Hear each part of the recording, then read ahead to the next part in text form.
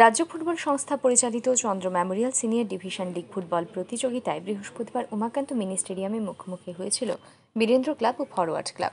ম্যাচে সাত শূন্য গোলের ব্যবধানে বীরেন্দ্র ক্লাবকে পরাজিত করে লিগে এখনও পর্যন্ত অপরাজিত রয়েছে ফরওয়ার্ড এদিনে ম্যাচে প্রথমার্ধে দুই গোল ও দ্বিতীয়ার্ধে পাঁচটি গোল করে বড় ব্যবধানে জয় তুলে নেয় ফরওয়ার্ড ক্লাব। ম্যাচে ফরওয়ার্ড ক্লাবের হয়ে জোড়া গোল করে খেলার তেইশ ও ত্রিশ মিনিটে ইয়ামি। এছাড়াও ফরওয়ার্ড ক্লাবের হয়ে ম্যাচের ছেচল্লিশ, সাতান্ন, একষট্টি, একাত্তর ও আটাত্তর মিনিটে গোল করে যথাক্রমে জাবেদা ডার্লং, বসন্ত সিং, সানা সিং, রোনাল্ড সিং ও বয়ার জমাতিয়া। ম্যাচ শেষে জয়ী দলের কোচ সুভাষ বোস বলেন, আজকের ম্যাচের জয়টা রামকৃষ্ণ ক্লাবের বিরুদ্ধে বাড়তি আত্মবিশ্বাস যোগাবে দলের ফুটবলারদের। বলতে তো ভালো খেলে, যারা, তারা তো এক পয়েন্টের লিগা ফাইট করে, আর আমার লাগে তিন পয়েন্ট।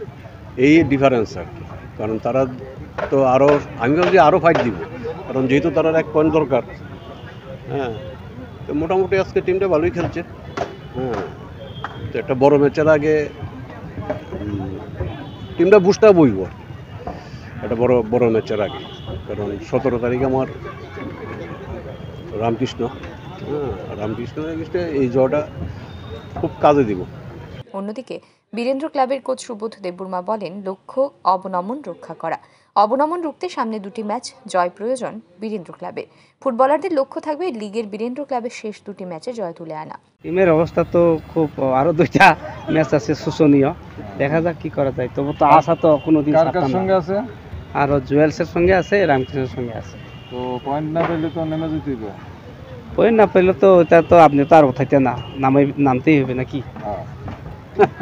সম্ভাবনা আসেনি? আহ চেষ্টা চালাই যান এদিনে ম্যাচে জয়ের ফলে ফরওয়ার্ড ক্লাবের সংগ্রহে রয়েছে পাঁচ ম্যাচে এগারো পয়েন্ট পাঁচ ম্যাচে ফরওয়ার্ড ক্লাব তিনটি ম্যাচে তিনটি ম্যাচে জয় ও দুইটি ম্যাচ ড্র করে।